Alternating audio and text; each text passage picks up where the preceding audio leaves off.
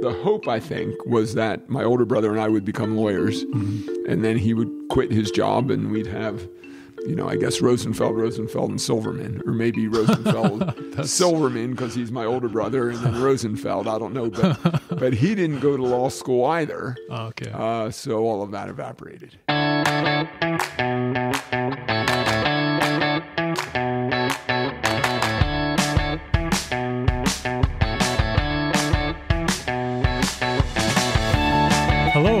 Welcome to episode number 44 of the Rose Bros podcast, where the idea is to connect with other entrepreneurs, athletes, and cool people in general to help you learn a thing or two and provide a little entertainment along the way. All the while enjoying some smooth Rose Bros coffee. This episode, we are joined by entrepreneur Lou Rosenfeld, owner of Lou's Performance Center. Lou's provides boot fitting services as well as high performance ski equipment, including everything from skis, boots, and bindings to footbeds, boot lifters, and everything else in between. In short, Lou's specializes in adapting ski equipment with the knowledge of biomechanics and modern pressure balance measuring tools to properly set up skiers. Lou has also published numerous articles and academic papers on everything from the science of boot fitting to avalanche transceivers. Lou graduated from the University of Calgary with a Master's of Science degree in Mechanical Engineering, as well as graduating from the Oregon Institute of Technology with a Bachelor of Science degree in Mechanical Engineering. It was an awesome episode as we talked about Lou's roots in the United States, being a Vietnam veteran, becoming an entrepreneur in the ski industry, career paths, the science behind boot fitting, race car driving, and what you can do to get the best ski set up for the upcoming season. Enjoy! Lou, good morning. Good morning. Thank you for doing this. I really appreciate it. Yeah, you're welcome. It's my pleasure. It's nice to see you again after all these It's years. It's been a long time. Yeah. You were one of the most popular and infamous, famous ski shops in Calgary. Oh, Did you know that? well, infamous has Maybe not infamous, popular. connotation. It's I'm not uh, sure famous. I'm happy with. yeah, yeah. But, well, that's nice to hear. Not infamous. Good. I'm glad we could uh, could help you all those years ago. you used to do my boots when I was a Yeah. teenager. Yeah. I think you vaguely remember that, but Well, I remember. I do remember it, and it's interesting because I've done uh, boots for other now adults Yes. who were uh, who were just little kids Yeah. when I met them. Yeah, some of them skied up to the national team, so it's it's been very interesting to watch. And one of them is kind of on the B team right now, Alyssa Hill. and so you did um, her boots. Well. We've been working together for a long time, and we still are. That's cool. Yeah. So it's very neat, but it's it's it's hard for me to remember. Time goes by quickly. I Absolutely. mean, I didn't think I would. Uh, you know, I'm an American, right? I Yep. came here to go back to school. I didn't think I would be staying and opening a ski shop here, Yep. and now it's been almost a third of my life. It has been spent in Canada, which was no part of a plan Really. whatsoever. yeah. So anyway, You went here to go to school. I came here to go to school. What'd you take? Well, I'm a mechanical engineer. Right. So I already had a bachelor's degree in mechanical engineering. Okay. And I came here to get a master's degree in biomechanics. Where'd you go? Uh, UC? U of C. Oh. And I was in the human performance lab Hmm. And and did work there. And that's what actually got me to Canada oh, okay. was to get my master's degree. I had called I had been accepted to several places in the US. hmm When I told everyone when I, what I wanted to study, because it was part of the plan to open a ski shop. Um, getting Really? a master, yeah, yeah. I wanted to research foot orthotics and and hopefully some other things directly related to skiing. Hmm. And uh, when I told everyone what I was interested in, I was accepted into the programs, into several programs in the U.S. But they all said I should probably come to Canada and go to the Human Performance Lab. There was more work happening there that I was interested in than there was in the U.S. Hmm. So that's what got me here. Interesting. Yeah. Cheap tuition too. You know, it was actually well cheap tuition. I I still paid triple. oh, right. Because out of country. Yeah, so out of country is triple what it would have been, Mhm. what it was for Canadians. But it was st- it was still a whole lot less than the places I was going to go to in the U.S. And the, Except that I wasn't allowed to work, okay. so it was kind of a double edged sword. And the goal was to open a ski shop all along. Yeah, the goal was to open a ski shop. I didn't know that opening the ski shop would happen here. Really? Yeah, You always thought you go back to the states. I assumed I would go back to the United States. so what kept you here? You. while opening the ski shop. Uh, I mean, I, I wanted to open a ski shop. I didn't I didn't have a way to plan it out so far in advance. So I could say, well, I'm coming to Canada for three years to get a master's degree, and then when I'm done, I'm going to go back to Aspen or wherever it was and open a ski shop. Right? I didn't know where the ski shop would be I see. and people wanted it to be here, and I didn't know where to do it in the U.S. Mm-hmm. And by then, I knew people here, Mm-hmm. so I ended up staying here. Did you always want to be an entrepreneur? Or was it more a science based interest? You know, I don't know. Um, I never was an entrepreneur before. I mean, I, I've done lots of different things, but mostly I had worked for other people. No, I think I just for some somehow I decided I wanted to have a ski shop. That's cool. Yeah. Did you grow up ski racing or Yeah, skiing? I didn't grow up ski racing. I wish I had. Mm-hmm. I didn't grow up in any way that taught me what I wish I had been taught about how to ski. Interesting. So, but I grew up. I'm from Pennsylvania, Mm-hmm. but there's skiing all over Pennsylvania, and there's a ski area, actually one of the most profitable ski areas in North America. I think it still is. Is just a half hour from my house. really? Yeah, Which one's that? it's called Ski Round Top. And Really? there- yeah. There's, there's a, a U.S. demo team member that's from Ski Round Top. Yeah. The general manager of Fernie, Andy Cohen. Andy Cohen, grew up 50 miles from me. I knew that you guys knew each other. Yeah. Yes. Okay. Andy Cohen grew up 50 miles from me and Yeah. skied, at, skied at Ski Round Top. And that's where he started his career. I mean, he, uh, Hmm. he taught, t- he was a ski instructor there. Did you come to Canada together, or was it? No, no, no. Oh, No, of. no, I, I think I think I got. Actually, I don't know his schedule. It was he Okay. came to Canada before me because he was director of skiing at Blackcomb in the '80s. I see. In the '80s, and I didn't get here until '97. Okay. His wife's Canadian. Just mention to anyone that is listening, we are drinking Rose Bros coffee here at Lou's Performance Center live. So We are drinking rose and rose. I hope coffee. you enjoy it. Yeah, this is good. Well, hopefully Trevor, it's pretty thank fresh. you. Yep. I usually take cream with mine, but uh, I'll uh, Well, so do I. But um, we'll leave it like this is that. good. Thank you. No problem. You finished school. I finished school. Well, I finished school, and I, I forgot I wanted to open a ski shop. What was it about a ski shop that you were interested in? Well, I grew up skiing. I mean, there was a ski area a half hour from our house, but I grew up skiing. So the, I think the first time I went skiing, I think I was probably four or five years old, and my mother took me. I remember spending the day. It was a ski area friends of ours owned, so it was it was pre ski round top. It was one of the early ski areas. uh, Well, I don't want to say in North America because I guess it wasn't, but it opened in the fifties Right. And it would have been one of the early ski areas, and it was owned by a group of families from my hometown, and they were all friends of my parents. So my mom took me there to learn to ski, and I rem- I remember being on this little hill. I think she took a ski lesson, so I was left by myself to play. yeah. And I remember there was a hill. I- I picture it; it couldn't have been more than six or seven vertical feet. Maybe it was ten. Yeah. you know, I don't know. And it was just a place for me to play. And I remember sidestepping up it, or however I got up it, and then skiing down. Mm-hmm. And I rem- I clearly remember. I, I don't know how this sticks with me so well, but uh, by the end of the hour and a half, I think, because I'm, I'm assuming my mom was in a lesson, Yeah. Mm-hmm. because she didn't just drop me off there at five years old and say I'll come back and get you Yeah. when the mountain closes. Probably wish she could have. Yeah. Yeah, well, that might that might be. But I remember by the end of it, I had taught myself how to. Well, I guess we'll call it a hockey stop back Yep. then. I had taught myself to do a hockey stop. I think I could only do it in one direction. I doubt I could actually turn it into a turn to control myself coming down the hill. Yep. But I could go straight down that little run, and then at the bottom, pivot my ski sideways and stop. And I remember being super proud of myself. Absolutely. And then, uh, and then I only skied a few more times and didn't start again until probably junior high school. But ski round top, I mean, it started a lot of people skiing. Mm-hmm. It was open at night. Mm-hmm. It opened. I think skiing started at nine in the morning. It went from nine to five, and then it closed for an hour mm-hmm. from five till six, and then it reopened again from six until 10 So all through junior high school and high school, I had a season's pass, and we we went at least a few nights every week for night skiing. I didn't do well in school. Good enough to get into university, though. Yeah, it was probably being in the military that got me into university. Really? Yeah, So you did military after high school, then? yeah, I, I was yeah I was drafted. This is Vietnam War era kind Really? of stuff, right? So Did you Yeah. serve time in? You I, know? I was in the- the U.S. Navy for three years. Overseas? Mm, Well, all around. Really? Yeah. I yeah. didn't know that. yeah. Well, I was going. To, I was.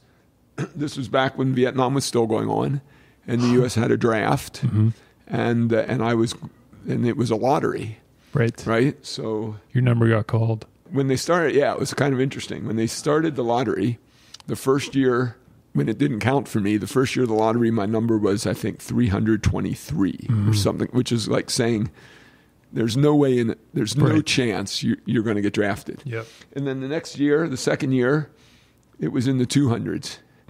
And You're starting to get nervous. And then the third year, which is when it counted for me, it was 75 or something like that. So I was going to go to Vietnam for sure. It was at the very end of the war, but the war hadn't ended.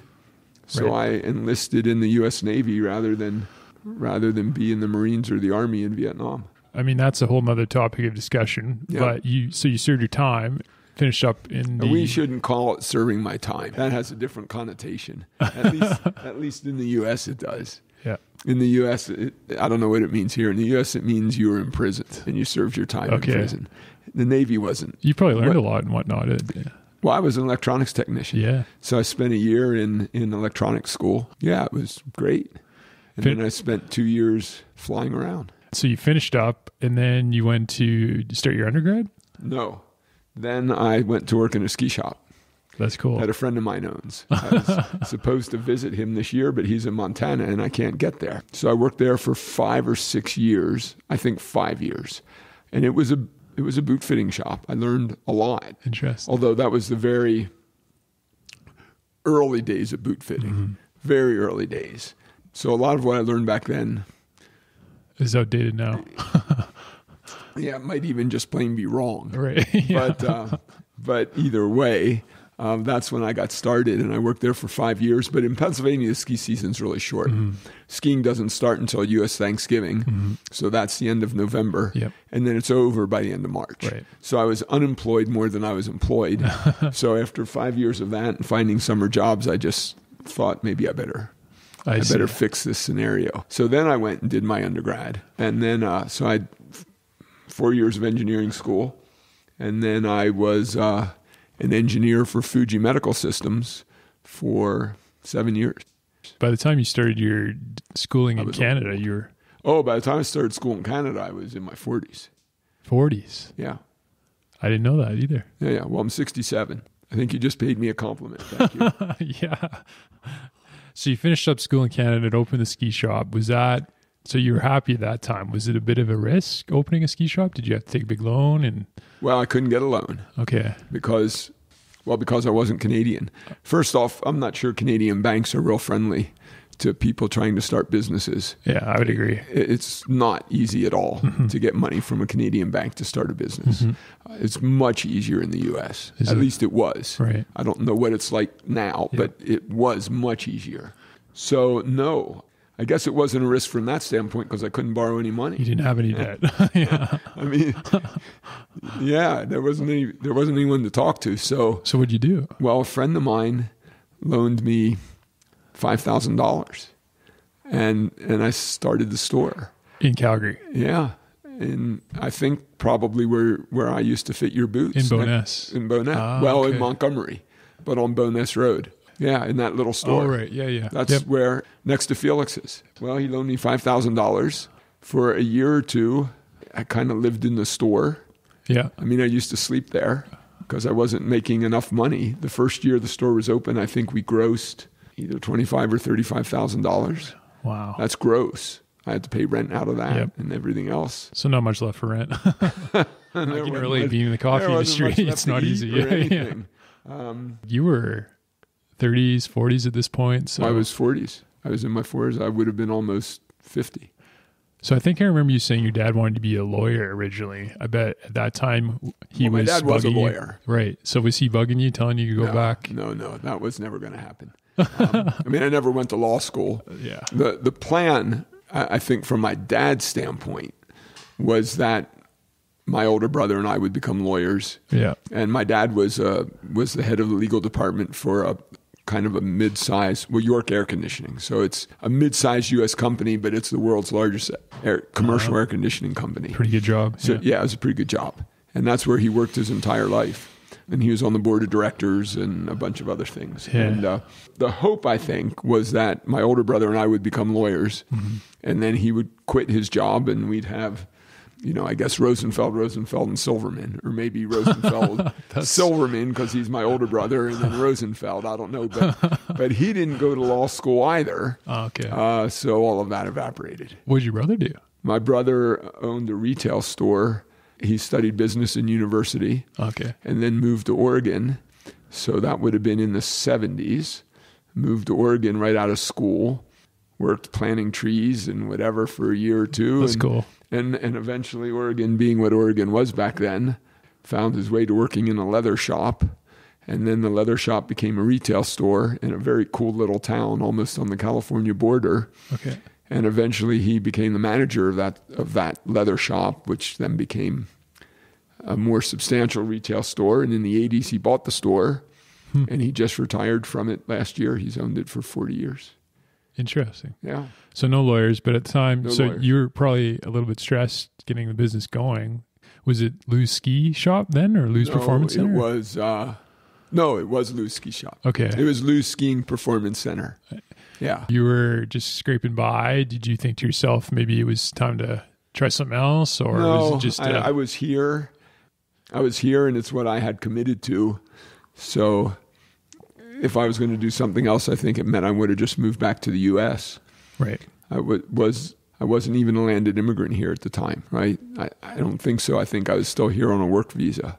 Have you ever heard of that guy from the northeast of the states? He started sort of a bit of a tangent. He started a bunch of ski shops, and now he's a billionaire. He's a Fanatics guy. No, I don't know him. Oh, okay. I, kn- I know the name of the Ah, it's, company. uh, he was. Anyways, I'll have to get back to you. Okay. if I find my phone, but it just reminded me of that story. So well, I haven't. I, I'm not a billionaire, yeah, but- well, maybe you are. I don't know. but- but- yeah. but but I'm glad the shop seems to have a good reputation. Yeah. thank you for that. You weren't thinking to yourself, it's time to go to do something else. Well, it was a little late for that. I was already in my 40s and had, well, almost 50, and had switched careers and uh, and gone back to school. And and uh, yeah, there there wasn't time to to bounce around anymore. I Right. guess I um, I was an engineer for seven years for well for Fujifilm, but I abandoned that and I was offered jobs back in the medical industry as an engineer, but I didn't take those. I had one that would have had me as a director of engineering at another medical another medical radiology company that was based in Salt Lake City. Okay. That might not have been a bad thing to uh, to do. I like Salt Lake. Yep. But but anyway, I didn't take that, so no, I, I wasn't I wasn't going back. Business did pick up eventually, obviously. Well, and- it picked up really fast. I mean, for all those years, you know, it's kind of like when I used to play racquetball. Mm-hmm. It was the fastest growing sport in North America. right. But you can say that about everything that ever comes along. It's easy to right? look back. Yeah. yeah. So so every year the store doubled in volume. You But- can't keep doing that, but it's No. easy to do when your first and second and third and fourth year. Right. You better do that, right? So, yeah, the store was growing fast as can be, but it still was a long way from making money. and that was the 90s. That was um, no. I started my degree in '97 and finished in 2000, and I opened the store in 2002. Okay. So it sounds like it was kind of more of a just a passion or interest rather than spotting some sort of market opportunity. Well, I didn't know any market opportunity because I didn't know where I was going to open the store. Right. right? I mean, it would have been nice in hindsight, maybe, to say, oh, there was an opportunity in Big Sky, Montana, or Yeah. something like that. Yeah. And it would have been easier, I mean, to go back to the U.S.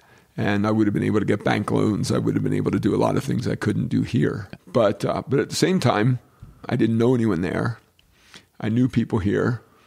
People wanted me to stay and open the store. Mm-hmm. When I was at the lab, you know, I met some coaches, I met some local skiers, I knew some people in town. Mm-hmm.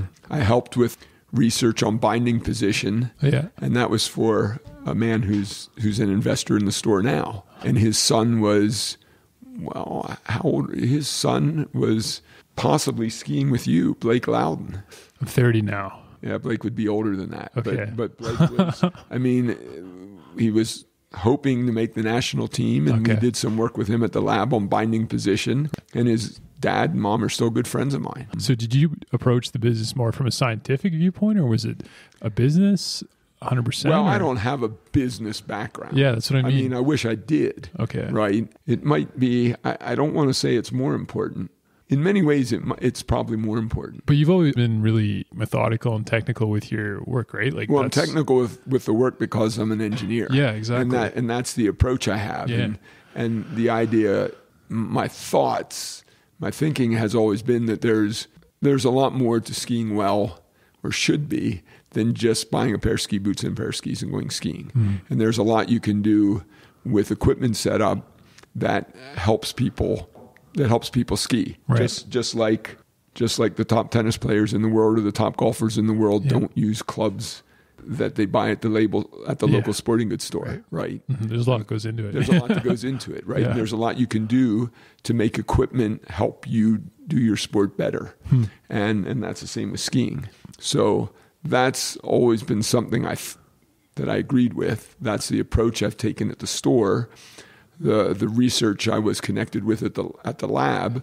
My research was on foot orthotics and human adaptation. Yeah. But we also did research. I also helped with research at the lab on binding position. That was for Atomic. And then before I opened the store, I did go back to the U.S. for one year to work for a, a boot fitter there who taught me quite a bit. Mm-hmm. And and we did more research there, and that was for Nordica on binding position. Hmm. So I brought all of that stuff with me here, thinking that that binding position is an important part of equipment setup, and other things you know related to that, so that there was more we could do than just sell gear, and that's how that was. But your question is about Which way did you view it? What- As a kind of a science experiment or as a Well, business? it wasn't a science experiment so much because I'd already done the science, right? And I was, I, I, I knew what I, I knew what I knew, and I thought I was confident in the way things worked. But your question was also about uh, business background, and Yeah. for people that are thinking of opening a business, man, I think it's more important to have a business background. Yeah. But everyone says you can learn business along the way. It's better to Well, be you technical. can learn either way along the way. Right. Either, I mean, you can learn your craft along the way and improve on that, or you can learn business along the way. Yeah, that's But what I I mean. would say you're you're running a business, and there's a lot to running a business. I see. And and most businesses fail in the first four years, Yep. right? And it can't be because well, it could be, but probably it isn't because people don't know their craft. It's because maybe maybe I mean maybe people don't have enough money to, to support them in growing a business. Right. Maybe a lot of things, but it could also be because maybe they don't know enough about running a business. Mm-hmm. So um, it's great to have a business background. Really? It's important. So, what percentage do you think the business versus technical, or what portion is more important? I, I don't have a percentage in mind, but but you don't have to be an engineer to do the things I do in the store or to learn. them. Really? You know, you can be a ski instructor and learn. You can be a lot. You can bring it. I mean, hmm. you have to be able to understand the technical background and the way to problem solve and all of those things, but you don't have to be an engineer to be able to do any of that. Well, you don't need to be an engineer to do any of that. I happen to be one Right. but but it's more because that's just the way my mind works Yeah. right and i mean i like problem solving it's it's a scientific it's it's a science-based process to Yep. me problem solving and you start here and The scientific and, and- method, and- and yeah. you go step by step and you look at the obvious stuff and and you rule some things out and you rule some things in and eventually hopefully you arrive at the right conclusion and that's the way I approach things so I think that's how I end up being an engineer maybe I also end up being an engineer because you know I don't in the US maybe lots of families I mean if you're going to at least back then, you're going to go to university. You're going to either be an engineer, doctor, or lawyer, mm-hmm. right? I mean, there's a lot of other things you can do, but, but Back your then, parents yeah. would say, "Boy, we would love to have a doctor, an engineer, or a lawyer in the family, mm-hmm. right?" And I, I could do math. Mm-hmm. I liked math, so I might as well be an engineer. Yeah. I mean, it was it was kind of there. There was no thought process involved in me going to engineering school. It was more like, well, I can do that. Right. Why wouldn't I? Were there any experiences, books, classes that really taught you the most about business? Not many. Not. I mean, I, I haven't. Mostly I've learned by doing Experience. and and by being lucky enough, I guess to to not make so many bad decisions that I'd go out of business.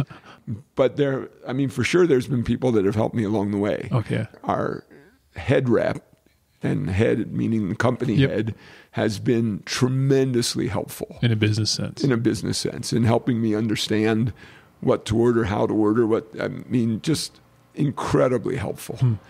And then, and then, Experience. and then, well, experience, but also I, you know, I, I said we had some friends that have loaned me money and helped me get started, and they're all local business guys. So, yeah, there's been places I could go to, and and people I could ask questions, and people that have helped.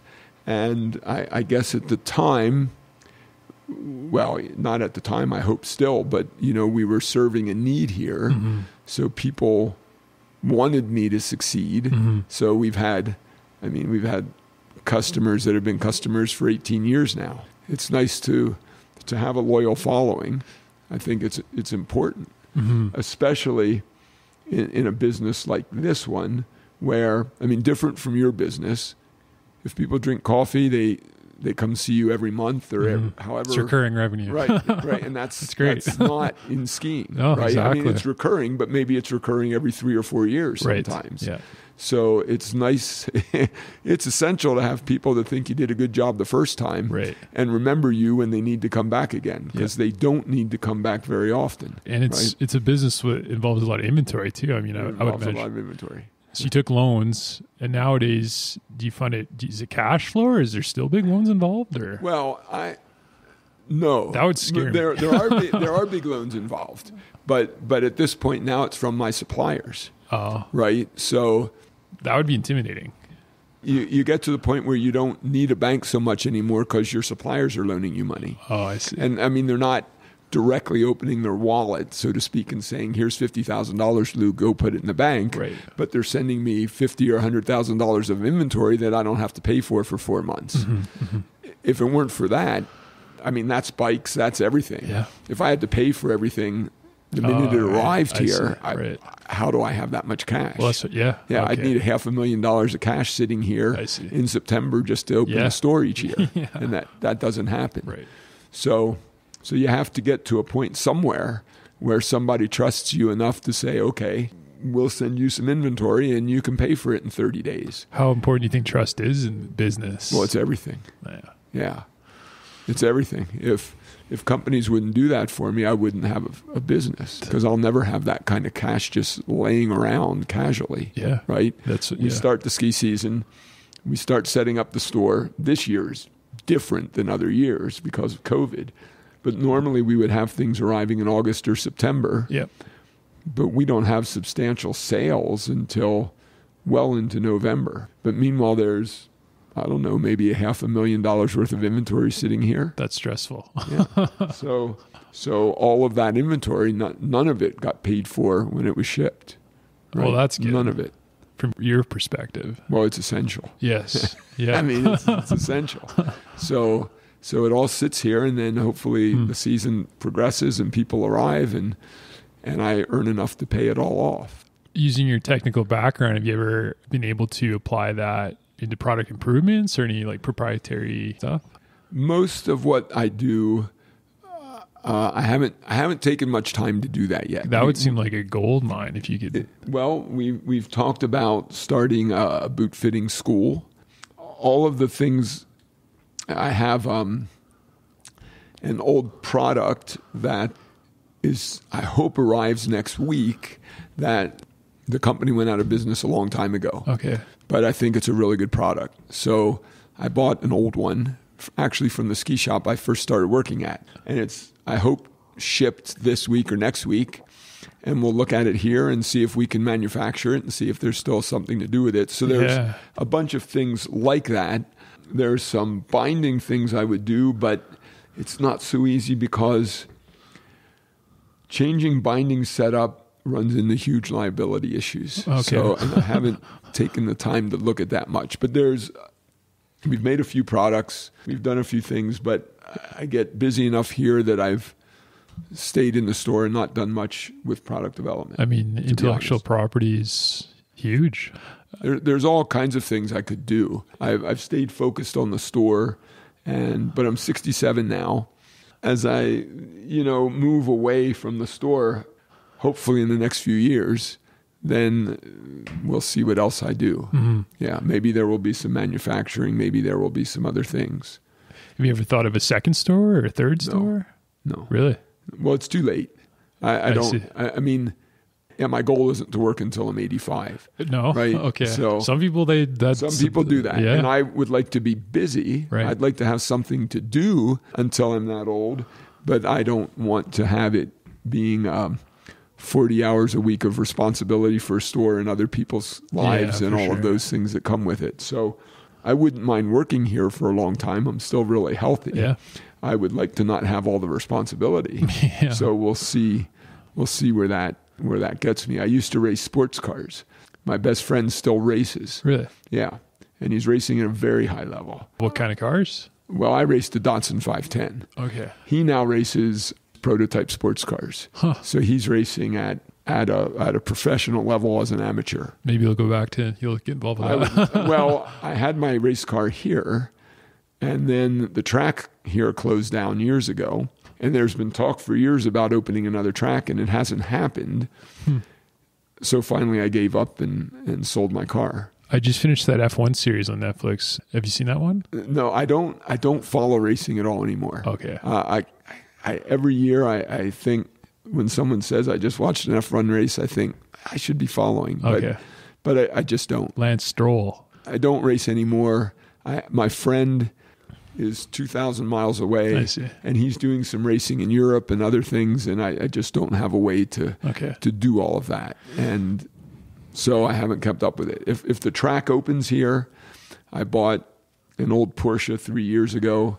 That's cool. And I bought it as hoping it would get to be a track car. Yep. Not a race car, but a track car. Okay. So we'll we'll we'll see what happens. How's COVID been for your business? Well, I don't know for sure yet. I've heard that all the outdoor sports are exploding right now. and Biking, and you were saying that They're all exploding. They all exploded. I mean, bikes were incredible this year. Yeah. The ski shop is busy this year, but it's also made made things very very difficult. It hasn't made it necessarily better. really Well, first because we headed into this year knowing not what to expect. So I couldn't say in March when because we closed Yeah. Mm-hmm. in March, right? Normally we would have closed in May. So we lost 20 or 25% of our revenue last year. So there's no way to say in March when we closed, well, next year's going to be wonderful. Yeah. Was- that was impossible. so so everybody, not just me, every ski shop cut their orders, right? I because I, I thought, well, maybe I'll have a business next year, but if I order yeah for everything I did last year and it doesn't sell, I'm going to go mm-hmm. out of business for sure. so Yeah, yeah. everybody cut their orders. The manufacturers manufactured to what we ordered. So there isn't anything in the supply chain now, or very little. And now we're in the fall of 2020. So now we're in the fall. The store is very busy, but shipping is horrendous. There's things that should have been here a month and a half ago or two months ago, and they still aren't even in the country, much less at my store. And they may not get to the country. And there's things I want, and the company's already completely sold out. Really? And and and we didn't order enough, so it's it's going to be interesting. We'll end up. I mean, if everything continues, but it's impossible to know that it will, right? Yeah. Who, who knows? Yeah, they could shut the hill down again. Yeah, maybe right? in December they close. Skiing's over. Yeah. So right now we're very busy. So it looks like we'll have a good year, but I don't know how to sit here and just say we will. Mm-hmm. And at the same time, I don't know that we'll have enough inventory. I mean, just because I mean, if stores are two hundred percent ahead, that means they need That hundred much more. percent more inventory. Right. Well, it isn't available, so you can be selling stuff at this high rate, but if you sell out, That's it. that's it. You're done. It- it- Really? yeah. The there's nothing more to sell. That's what happened to bike shops, right? I mean, they they did really well, but they could have done even much better. Right. But they ran out of stuff to sell, and we're already out of things to sell in terms Already? of being able to order more. Oh, I see. And meanwhile, there's things that haven't arrived yet. So when you walked in the door, I was talking to my manager and and the, the shop manager, and Yeah. we're still waiting for stuff. Yeah. and it's coming in so late that that the store is super busy now. When normally we would be setting up the store when there's no customers here and we'd be relaxed. Yeah. Now we have 40 hours or more a week of people wanting boot fitting, and at the same time, we have to check in all, all the inventory and get it priced and get it out. So, Hmm. so we're doing two jobs at the same time when normally we'd be doing them separately. We'd be having inventory arrive in September when there's hardly any customers, and then as we got it all done, we transitioned to that. Okay, that job's done. Mm-hmm. Now we have customers, but instead we have customers and setting up the store happening at the same time. Really? Yeah, it's very busy. There's a lot to do. Well, you're saying that I shouldn't go to Louise this weekend. Well, I, I, I don't know. Yeah. you should go to, you should go to Louise. Louise is a great hill, just it- for anyone listening. Yeah. hill, I'm just being busy. I mean, it's a phenomenal start to the season. Yeah. So Yeah. you should go. I am fortunate enough to be able to go on weekdays. But if I was, if I wasn't, and I had to go on weekdays or on weekends, Yeah. I certainly would still be skiing just as much. Yeah, for sure. I, you know, I started skiing here on on weekends because I started skiing at Yeah. Lake Louise in local areas when I moved here for my master's degree.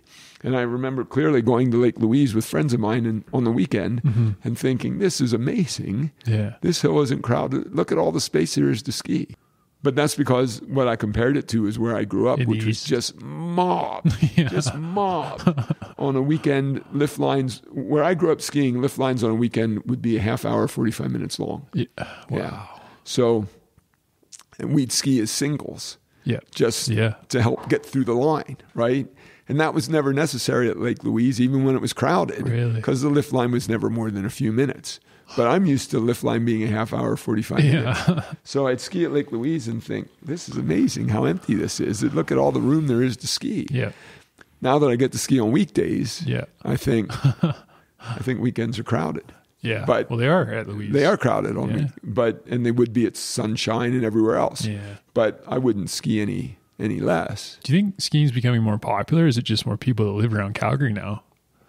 Well, if you're talking about the industry overall for years, skiing isn't growing. Really? If you're talking about this year, there's a ton of people coming back to skiing, just like last summer, a ton of people Yeah. decided maybe they'll start riding bikes again, even though they hadn't been on a bike in 20 years, maybe. So now there's people coming back to skiing because, I mean, the safest place to be is outside. Yeah. And, uh, and, and you, I mean, I, we had someone in yesterday just saying, well, normally this time of year we're already in Arizona for the winter, Right. but we can't go. So, and we're outdoor people, so we're going to start skiing again. Okay. So they came in and bought a bunch of ski gear. So, So, it's, it's busier because there's just more people then. there's more people that, that don't have, that don't know what they need something else to do with their time. I see. Whether it continues, Yeah. you know, next year, if those same people can go back to Arizona, right. I assume they will. So we'll have to see whether this is a blip or, or, or how much it can, you know, whether it continues into next year. But Yeah. so why do you think Louise is busier nowadays than it was back when you were younger? Well, don't forget when I was really young, I mean, I was still in Pennsylvania. So I don't know that Louise is any busier. Oh. I'm saying the difference for me is the difference between skiing on the weekend Right, and right. skiing on a weekday. Oh, okay. I don't Okay. know what it's like. I mean, right now, if it's busier this year, it's because a big chunk of population Yeah, is here sure. instead of being in Yeah. Arizona or you know wherever everybody went. Everybody is here. Yeah, I was supposed to be in Montana this summer on a rafting trip, and that was canceled. Right? So okay, now I'm doing something here, Yeah. and everybody, virtually everyone who who who would have left here in the wintertime and gone to Arizona or Florida or wherever they go Right. is here. So either they're going to sit at home all day long, Yeah. or if they want to do something, well, the winter sport here is skiing, right? Either they're cross country skiing or they're alpine skiing or they're alpine touring, but they're all coming back to skiing again. Which is good for you. It's great for me, but but it will, uh, for all the questions about business, it will mean that next year, when we start ordering for next year, It's hard. I'll have to look at this year and say, well, let's see. Yeah. Is the shop really this big or is it only 75% this big because all of these people are going to quit the sport. Right. right? They did it this year. Um, they didn't spend any money over the summer because they couldn't go anywhere. So they have money laying around and they could easily buy new gear. Um, what happens next year? How do we order for next year? That's where the business part of all this comes in. Do you think you may run out after Christmas? Oh, we're going to run out of stuff. Uh, well, it, it depends on COVID Yeah. and whether the Uh, hills so stay open. Yeah. But if the hills stay open, you're going to run out. yeah, we'll run out for sure. So what are you going to do? There's nothing to do. I Oh. guess I'll get to go skiing. Shut the store down. I'm well, we won't shut the store down, but but it'll be just like bike shops didn't shut the bike shops down because there there's still service to do and there's still bikes around. Right. But we'll be out of some stuff Yep. for certain. So if we'll be out of some things by Christmas, right? I don't know Wow. what exactly yet, but but there are things like one of the companies whose electric socks we sell and mm-hmm. electric gloves we sell, they're already sold out. Mm-hmm. Okay, so we have inventory, but but we don't have any more inventory than we had last year because that's what we ordered. And you're sold right? out in November. Well, we're not sold out yet, but they are. Oh, I see. So I'll sell out because because we don't have any more inventory than we did last year. Right. But it seems like there's 50 more 50% more people buying stuff. Yes. The company is sold out, so once I sell everything I ordered, Yeah. I'm done with that product because there. Hmm. there's no more to get. So electric gloves, they'll sell out for certain by Christmas. Heated boot bags, Yeah. they'll sell out, and those kinds of things because there just won't be enough. Have you noticed a uh, increase in online orders with the COVID and, whatnot? Well, we don't sell online. Yeah. Have you ever? I know there's there's an increase in online, period. Yeah. Right. Fortunately, it Amazon's gone crazy. it, it maybe affects me to some degrees less than other stores because people come here for boot fitting service I see. and they can't get that online.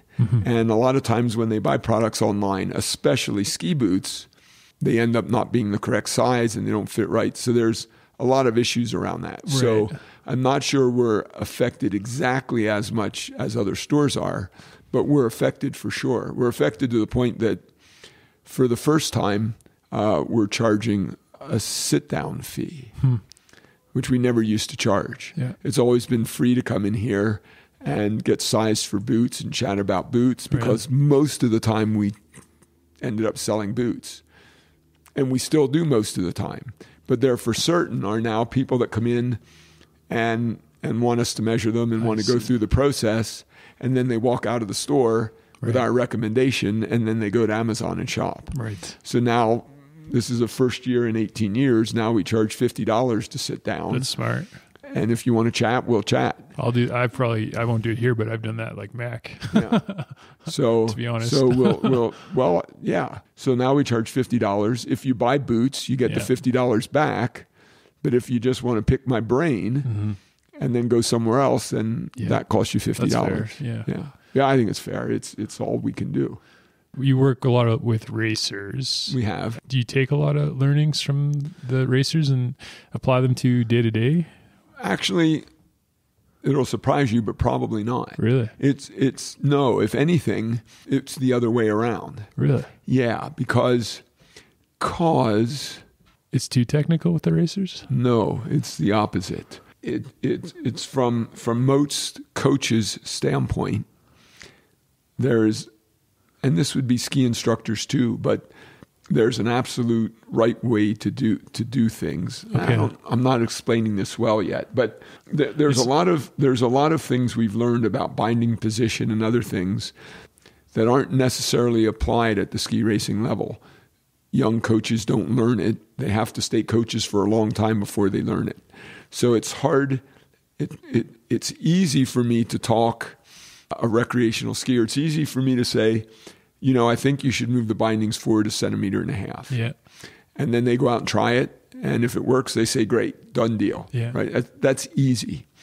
To talk a, a racing kid Yeah. into doing that and going against what their coach advises Really? and it is much more difficult. It's more the other way around. I mean, we hmm. do have athletes that we work with, like the the girl I said, you know, had skied up to the B team. the year she was named to the to the national B team, she was skiing in the binding position I recommended rather than the binding position from the manufacturer who she skied for. Hmm.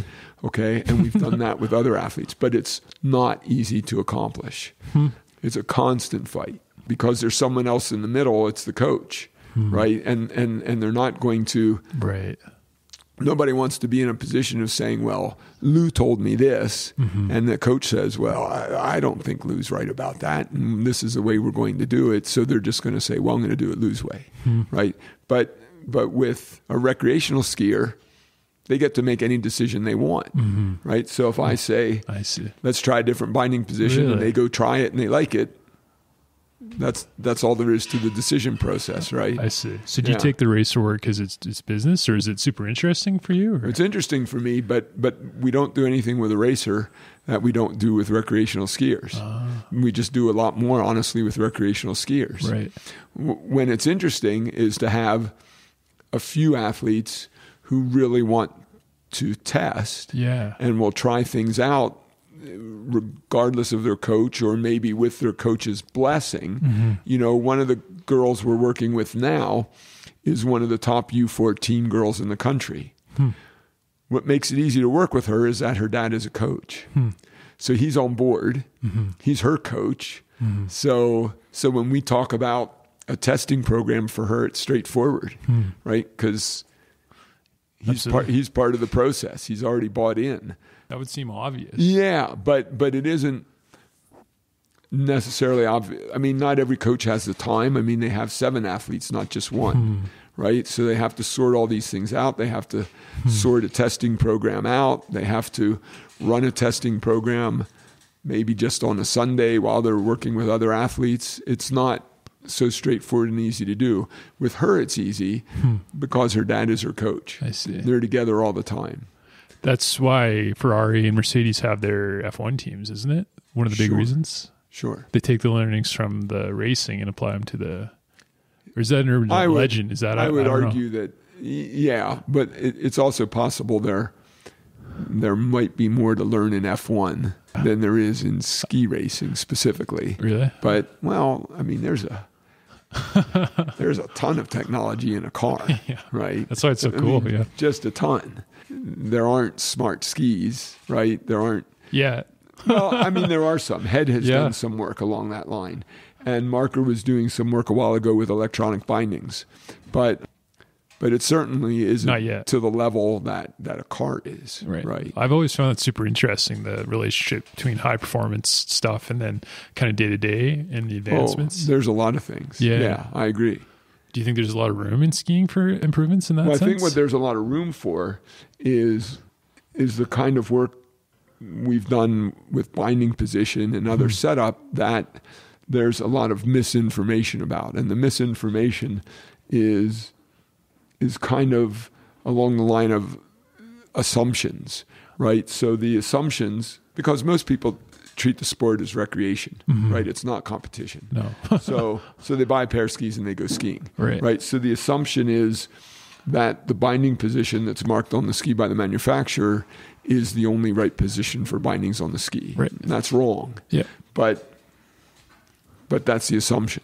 Interesting. So the assumption is that some engineer designed the binding position in Mm-hmm. and it has to be the right position for everybody. Well, mean that isn't even sensible. We don't approach anything else that way, right? You don't we don't approach golfing that way. We Yep. don't even approach even i- i- if you race a bicycle or, or ride a lot, we don't even approach fitting your bicycle that way. You know, you you buy your bike and then maybe you Yeah. buy a new handlebar stem because you need longer reach. Yeah, you- yeah. I mean, you change all kinds of things. Right. Um, but with skiing, we say there's where the bindings belong, and it doesn't matter if you're Yeah. 6'2 with a size 28 foot or you're 5'8 with a size 24 foot. We're going to treat you two as if you're exactly the same person. And that's a problem. It's a problem. Yeah. It- for me, it's a problem. Other people think it's the way it's supposed to be. So, so there's room, I think, to do a lot to help people ski more easily Mm-hmm. and, and enjoy it more. Interesting. But it isn't. I, I don't know how many people run the experiments, I, I recommend. Right. You know, there's a, a lot of skis on the wall there that all have movable binding. And, and we talk about moving the bindings and finding out whether you like a different position. But not many people do that. But I don't think many people do that. Now, we did a podcast this summer with Tom Gelly. He's a ski instructor from New Zealand. okay. Okay. Yeah, you told me about And that. he Yeah, yeah. he's I I think to compare in Canada, I don't know the New Zealand association levels, but in Canada he would be, I think, a level four course examiner. Right. Right? good. Yeah. Yeah, so good skier and and high up in, in, in ski school or in the ski association. So he and I did a podcast. He skied for Völkl for years. Hmm. We did a podcast. He wanted to talk about binding position. That's what we talked about. Mm-hmm. And and then he said, "This is really interesting. I've never played with binding position in my life. I just thought, Yeah. you know, this is where it is, and I've just always skied there." Yeah. and and so I just talked to him just a couple days ago. Um, now, because you know he's had the season, and and I asked him, you know, what did you do with all the binding position things we talked about on the podcast? And he said, well, I've tested, and now I've moved my bindings forward a centimeter and a half. Well, he's skied for 40 years or whatever at using the factory position, and now he's decided that Yeah. the skis he skis now ski better a, a centimeter and a half forward. But he's a high level instructor and he never did any of that before, right? Hmm. It's not to criticize him, it's just to show Yeah. how people treat the sport, right? Have you seen certain racers along the way really embrace that mentality and succeed? Well, sure. I mean, the I, I don't Like Manny. without someone like permission, that? I can't use anybody's names here, but yeah, the woman we had on that skied up to the B team, then she tore her ACL. Hmm. But before that, that year, the year she was named to the to the team, she was skiing her bindings three centimeters forward on her slalom skis. Wow. That's huge. Yeah. That's unusual to have to move it that far.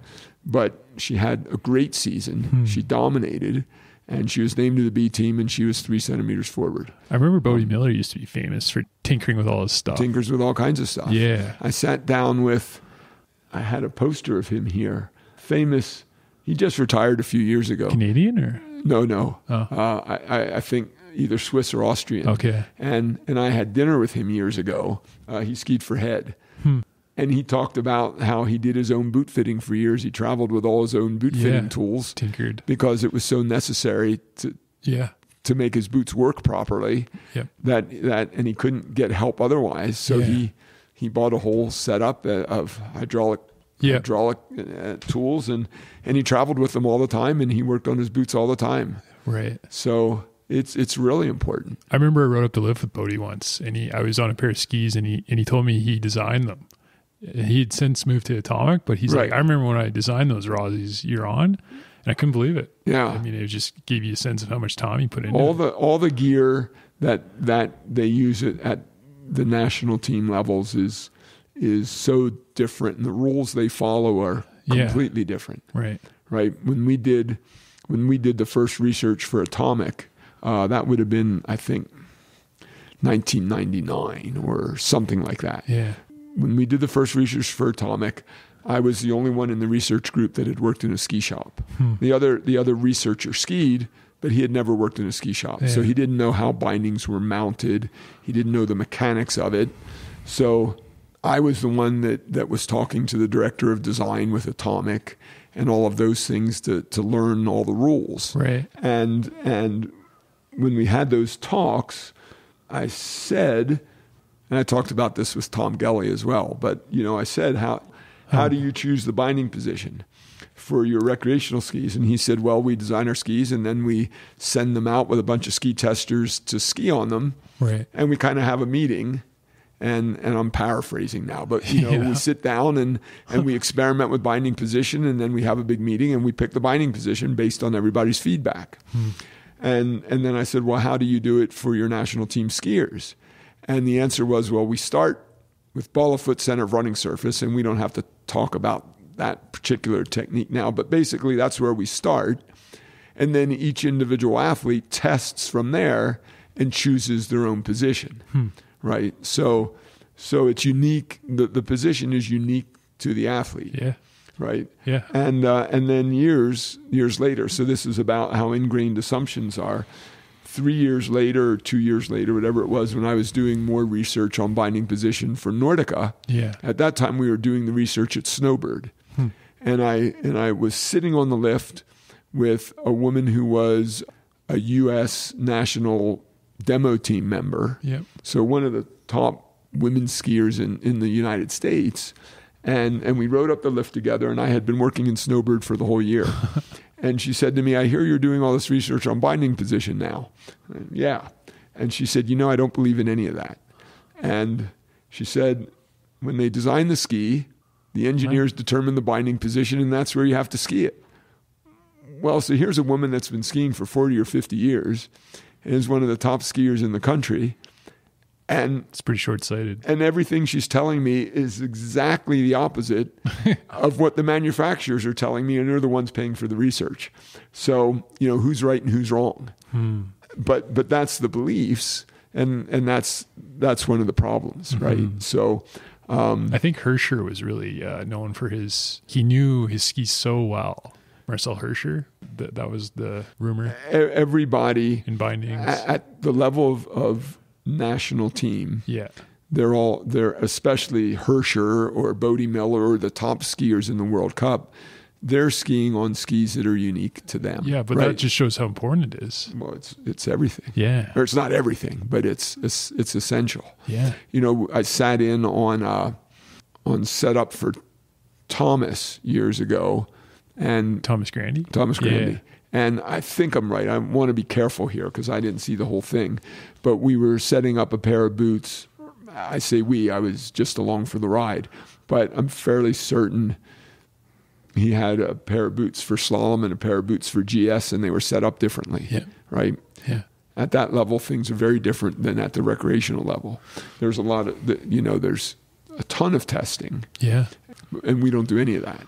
And and there isn't, and you don't need to spend as a recreational skier. You don't need to spend all your time testing your gear. No. But but I think it's important to understand that some things can be changed, like binding position, mm-hmm.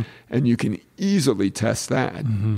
and and and learn a lot, and then maybe find something that makes skiing easier. Why do you think certain, for example, Atomic, why do they seem to stand out year after year? They seem to be one of the premier race brands. Is there some reason that you think? You know, I honestly don't know. Okay. I mean, Head would say they are.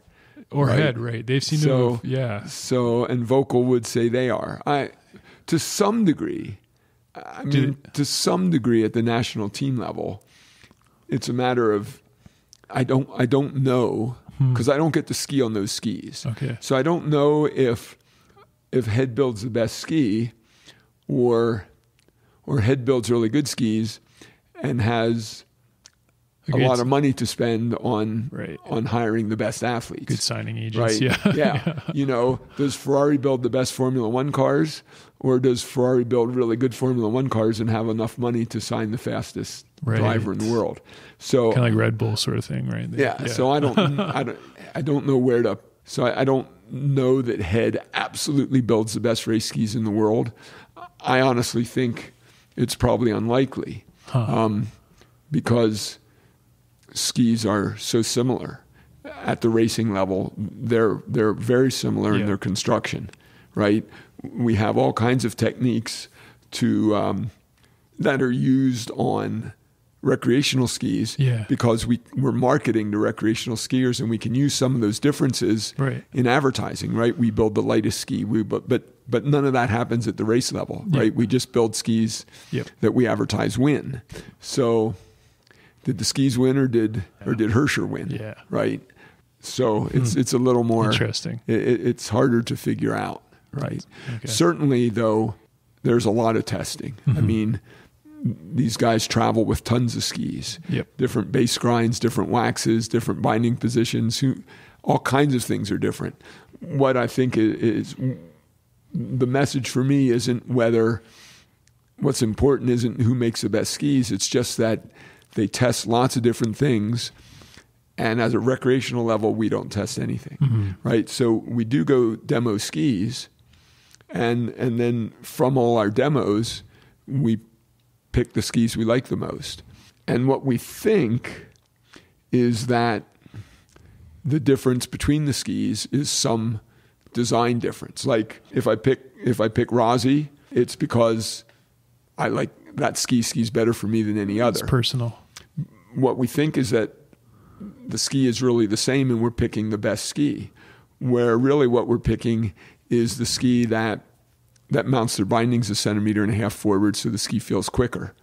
And if we picked Rossi overhead, let's say, if we move the bindings a centimeter and a half forward on the head, it's possible we'd like it as much or even more than the same Rossi we picked. right. So there's a lot of, we assume we're just testing skis, Right. where we're testing skis, but we're also testing the tune on the skis. We're testing the binding position on the skis. We're testing the ramp angle of the bindings and a whole bunch of things people don't even think about. And then we're testing the fact that it's a bright sunny day today and the snow is really good And you feel good, yeah. and you feel good and you had a really good day. Right. And and when you tested the other ski, it was minus twenty five and and really icy and and you, and you just you didn't have a good day. So we're not when you, when you demo skis, you're not for certain demoing exactly what you think you are. You think you're just demoing a ski, mm-hmm. but you're not. You're demoing all the changes in the system that are possible. That's why I think people demo skis, and in the end, for certain, they pick a ski they like. But is the demoing system that everybody uses really mm-hmm. the, the best system? It's not. It's possible people pass by the best ski because the snow was good that day. I mean, when I get to demo skis, we're going to test skis on Monday, but I'm going to test skis, seven different pairs of skis, all on the same run on the same day. Everything's fairly repeatable. Whereas when recreational skiers test skis, they're- going to take a ski and they're going to go to Lake Louise on one day, and then three weeks later they're going to go to Fernie on another day, and mm-hmm.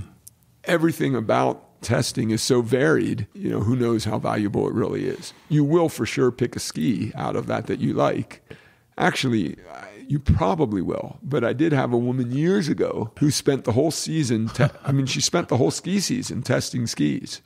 So she had skis she didn't really like because she was only skiing every few weeks and she wanted it, she it took her all season to test so starting in november until april she was testing skis the whole time she spent the whole year skiing on skis that she wanted to replace and at the end of the year she came back to me and said i don't know what i want to buy i'm completely confused Yeah. and she's confused because she can't compare the skis. The variables aren't right? the same, yeah. Well, the variables are all over the place. You know, one day it was sunny, one day it wasn't. Different ski area, and then and then the tests are three weeks apart, so she can't even necessarily remember what she liked or didn't like about each skis. Hmm. So at the end of the year, she didn't all that testing. She didn't. She wasn't able to buy a pair of skis. Sort of the magician, not the wand sort of thing, right? Yeah, Yeah. exactly. Would you have any advice to someone out there kind of Well, I to- think, I mean, other ski shops do this. We do it. I think the best thing, i honestly, is to find a shop you trust, Mm-hmm. understand that they have tested skis. I mean, that's what we're doing Monday next week. We'll have Head and Stöckli and Rossi and Blizzard all there at the same time. And the whole staff is going to ski together Mm-hmm. on the same runs, and we're going to test skis back to back to back. And then when we sell skis, we guarantee what we sell if I recommend a ski or any of my staff recommends a ski and you buy it and then come back and say, you know, I don't like it, we just either give you your money back or give you another pair of skis. Hmm. And I, I think that's honestly a better way than demoing endlessly and then trying to compare mm-hmm. skis when the snow is different and, the, and the, mm-hmm. it's just really hard. I know how the skis ski. If I ask you the right questions, I'll be able to figure out what's important to you. Mm-hmm. And and since I ski the local ski areas and you do too, and I know where you ski at those ski areas, I know what the terrain is typically like. I know what's valuable. I can turn that into a ski recommendation. Right. And hopefully I get it, you know, right more than I get it wrong. Yeah. And and you'll be out immediately instead of waiting months to test. You'll be out that next day on a new pair of skis. you can leverage the info. Yeah. Yeah. If I get it right, instead of testing all year and waiting, hoping they go on sale, and then they go on sale, except that the size you want and the ski you want is already sold out, you get to immediately turn it into a pair of skis. Well, I think that's a great place to leave it, Lou. That's I, a place uh, to leave it. I really appreciate it. Uh, Sure. for anyone who's listening, that's a great plug to come down to Lou's and Perfect. get your skis checked out, your boots, your bindings. Favorite place to ski before we end it? What would be your favorite ski hill? My favorite ski hill. There's so many places I haven't skied, but my favorite hill of everywhere I skied is probably Big Sky, Montana. Okay. But I like Lake Louise a lot, and although there's lots of good skiing around here, right. I mean, Fernie and and Castle and and Kicking Horse are great ski areas, but they're just far enough away Yeah. that I don't get to go to them for a day. So mostly I end up at Lake Louise, which isn't a bad thing. No. No, it's not a bad thing. There's great terrain there. That's where I do most of my skiing. Well, thanks, Lou. I really appreciate Yeah. your time. We'll uh, no problem. Thanks for we'll the it up coffee. there. Very nice. I hope you enjoyed it. The Rose Bros Coffee. Yeah, yeah. Was, Good uh, luck with, with your business, and uh, and thanks for this time. Thank you. Hey, thanks for listening, everyone. Hopefully, you enjoyed the episode. If you liked what you heard, check out rosebros.ca where we will have upcoming shows. You can also find our coffee and chocolate there where we plant one tree for every bag or bar sold through our partnership with One Tree Planted, a cool non for profit organization focused on global reforestation. Until next time, happy coffee drinking.